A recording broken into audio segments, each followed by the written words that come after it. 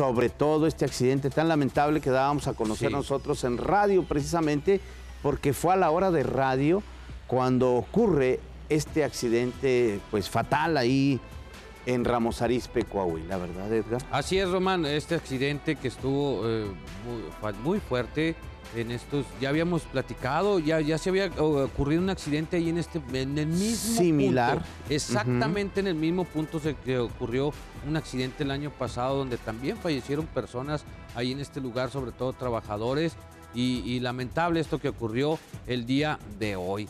Vamos a ver esta información y ahorita vamos a seguir platicando de este fatal accidente. Un joven sin vida y otro más lesionado fue el resultado de un fatal accidente registrado la tarde del jueves sobre la carretera Saltillo-Monterrey.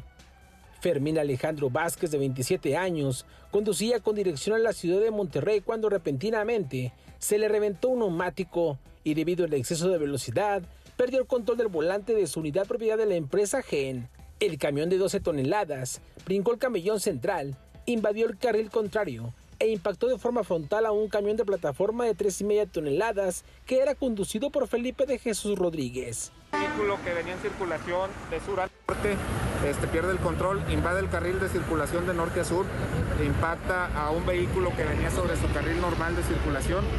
Lamentablemente tenemos una persona sin vida, este, tenemos también una persona asegurada, la cual fue trasladada por personal de paramédicos de bomberos a recibir atención médica y ya cuenta con resguardo. Lesionada, se iba lesionada, es por eso que su atención fue inmediata para ser trasladada a un, centro de salud.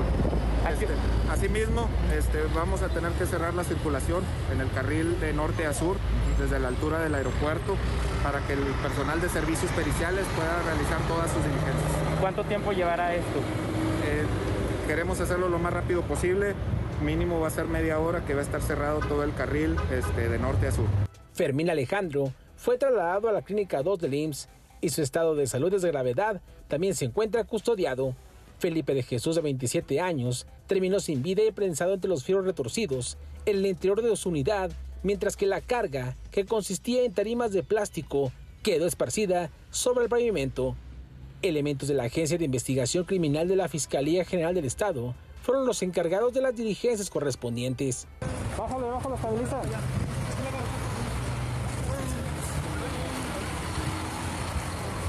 Bien, bien, bien. Más tarde, se ordenó el traslado del cuerpo de Felipe a las instalaciones del Servicio Médico Forense para la necropsia de ley. Cabe hacer mención que el 9 de noviembre del 2018 se registró un accidente similar en el mismo punto en el que lamentablemente una persona perdió la vida. Imágenes e información de Carlos Hinojosa, RCG Noticias. Román, yo digo que fue en el mismo punto, la palmera se ha salvado bastante, esa palmera que estaba ahí, que pues veíamos en el video, eh, pero muy lamentable que ocurriera esto. Según nos dicen, eh, presuntamente ellos venían jugando, no jugando, sino que se venían cerrando entre los vehículos. Entonces, al parecer, por eso pierde el control y brinca ahí el camellón. Yacira nos va a explicar ahí en la super pantalla cómo ocurrió este accidente, Yacira. Efectivamente, chicos, justamente aquí tengo el video en donde se ve que pasa un carro eh, primero, en donde como que se van dando cerrones y ahí se da el impacto justo en ese momento en donde van, para empezar, pues muy rápido y acto seguido, pues se da el impacto y es donde brinca el camellón y desafortunadamente una persona pierde la vida y la otra resulta lesionada. Si podemos poner el video de nuevo, mira, ahí se va a ver dónde pasa. Ahí está el impacto. Con ese vehículo venía jugando. En este vehículo, el que viene aquí adelante primero, venía jugando o dándose los cerrones, por así decirlo. Y mira, ahí un poquito más si lo puede regresar, un poquito más para que se vea un poquito más. Ahí se va a ver donde se van dando cerrones esta camioneta, este vehículo y el camión. Y entonces, si se pueden acercar, mira, puedes, puedes regresarlo un poquito más para que puedan aquí, este vehículo, este vehículo y el camión vienen jugando de cierta manera, por así decirlo, vienen con los cerrones aquí. Entonces vamos a avanzar el video. Ahí se ve donde brinca el camellón y se estrella.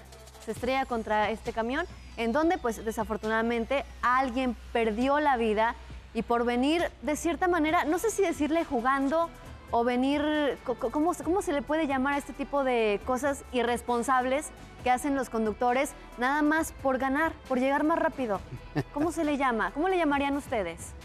Pues eh, yo creo que no podríamos decirlo aquí al aire, ¿verdad? Pero es una verdadera torpeza, tontería de este conductor, ¿verdad?